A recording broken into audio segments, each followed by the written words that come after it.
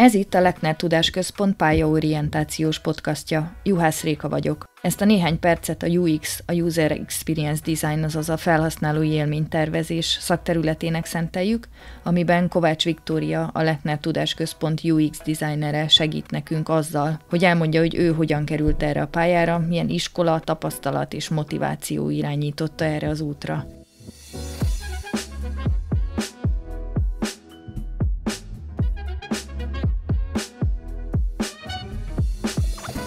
Viki, mit csinál egy UX designer? Elsősorban felületeket tervez, de ezt nem úgy kell elképzelni, hogy a kinézetét határozza meg egy adott weboldalnak vagy mobil applikációnak, hanem a felépítését határozza meg, a különböző működéseket, funkciókat, folyamatokat alakítja ki, azokat a lépéseket, amin a felhasználó majd végig fog haladni, amikor az adott rendszert használja. Nem csak a tervezés a része a UX designer feladatainak, hanem ideális esetben a kutatás is, elsősorban annak a megismerése, hogy egy adott termék termék tervezésekor mik a felhasználóknak az igényei és szempontjai, illetve emellett az, hogy a, a megrendelőnek mik az igényei, mik a szempontjai. Milyen iskolát kell ahhoz elvégezni, hogy valaki UX designer lehessen?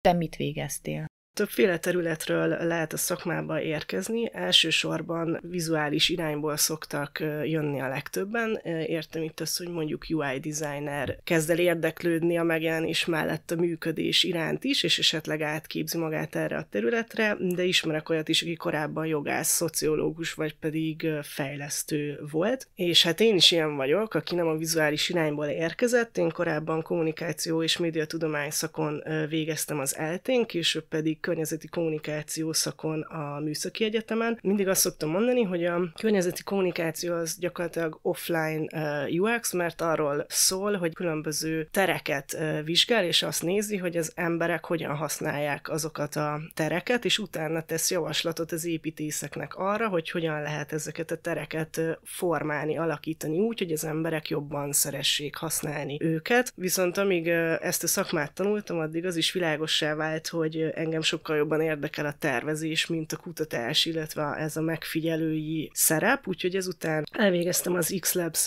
UX képzését, és akkor így kerültem később a szakmába, nyilván juniorként kezdve a szamár létre aljáról. A Lechner Tudásközpont design főosztályán dolgozol. Van nálatok olyan, hogy jellemző végzettség? Az egyik oldalon van a társaság felettervező grafikusokból áll, ők jellemzően a, a Momén végeztek, és, és ez a szakmájuk, ez a tervező grafikus. A másik oldalon is több helyről, a Moméról, azt hiszem a Kreából érkeztek, tehát hogy mindenhol van valamilyen egyetemi végzettség egészen biztosan, és ezt minden esetben kiegészíti egy vagy több a szakmába vágó egyéb ilyen felnőtt képzés, is. Például én is végeztem a UX mellett egy UI designer képzést is szintén az X-Labs-nél. Igazából itt azt lehet látni, hogy nagyon fontos az, hogy, hogy az ember folyamatosan tovább képezze magát ezen a területen, és szélesítse azt a spektrumot, amit a, amit a tudással lefed.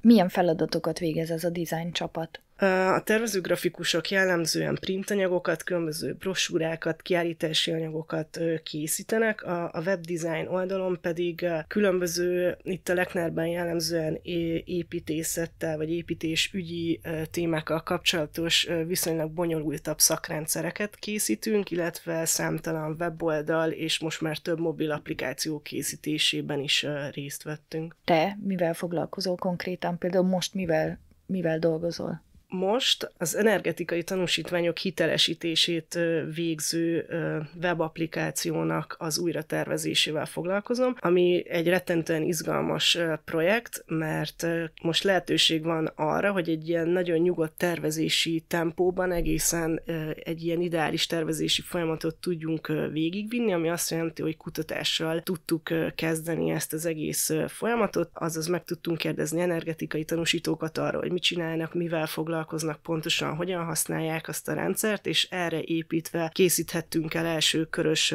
drótvázakat, amit egyébként pont a, a minap tudtunk élőben tesztelni szintén tanúsítókkal. Ezekből nagyon izgalmas tanulságok keletkeznek, ami alapján tudjuk módosítani az első körös terveinket, és így tudunk majd tovább haladni, hogy egy tényleg jó terméket hozhassunk majd létre. Te mióta dolgozol ebben a szakmában, illetve mióta dolgozol a Lechnerben ebben a pozícióban?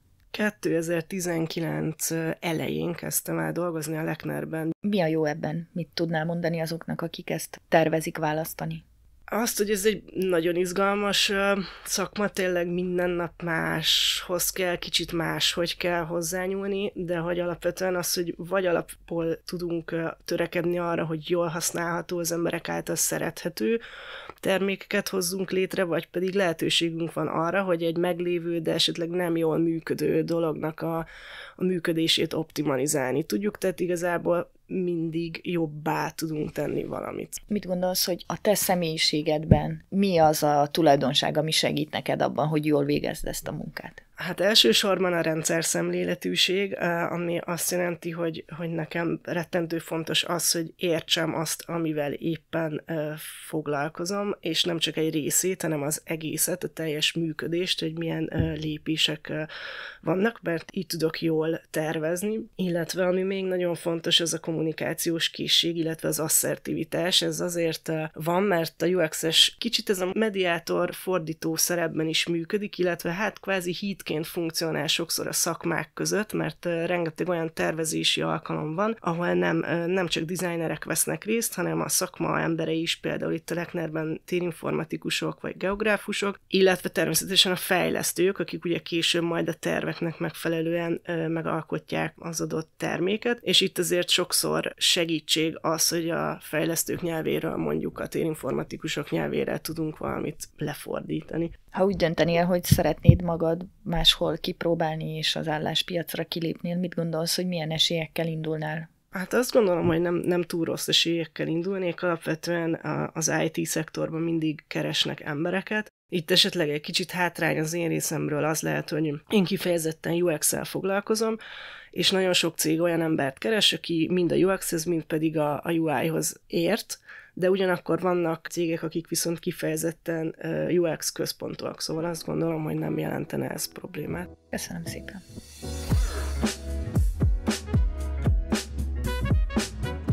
A Lechner Tudás Központ podcasteket és videókat készít a tevékenységi köréhez kapcsolódó témákban. Az elkészült adások és a további tartalmak a www.lechnerakadémia.hu oldalon bárki számára elérhetők.